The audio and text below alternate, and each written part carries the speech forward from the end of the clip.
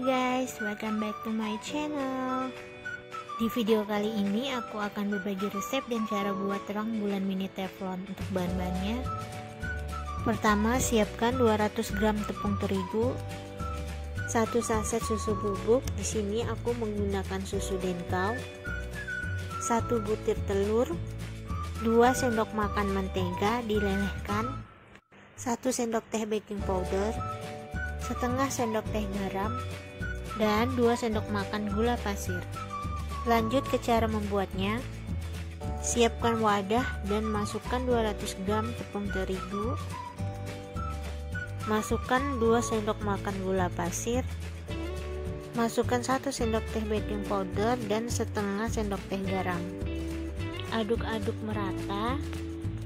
Siapkan wadah. Di sini aku menggunakan gelas, lalu masukkan satu saset susu denko bubuknya. Kemudian tuangkan 300 ml air.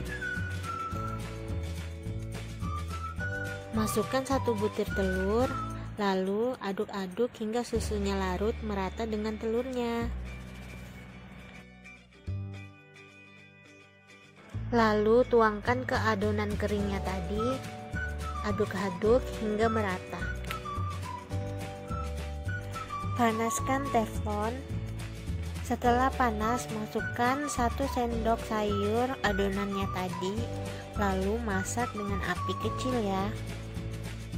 Jika sudah mulai sedikit bersarang, tambahkan sejumput gula pasir. Tutup, masak hingga matang.